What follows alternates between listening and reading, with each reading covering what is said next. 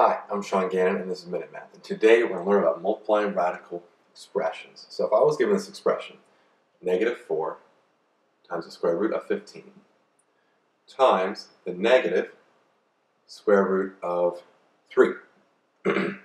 well, what we want to do here is that we can combine our square roots under one roof, really, one square root with the multiplication there. And then negative will go out front with the negative 4, which will cancel out, right? So a negative and a negative become a positive, so we have a positive 4 on the outside.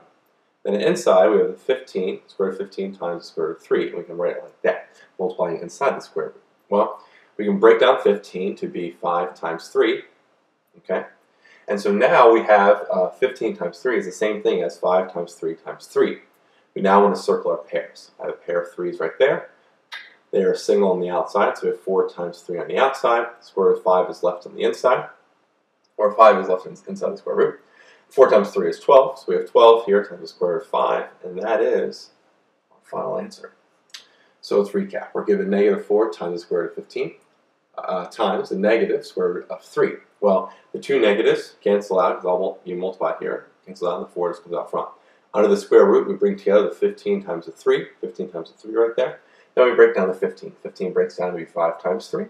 And then we circle our pair. So there's a pair of threes right there, leaving 5 by itself on the inside, and then 1 3 on the outside now. So we multiply together now the 4 times 3, which is 12, which gives us now our final answer again of 12 times the square root of 5.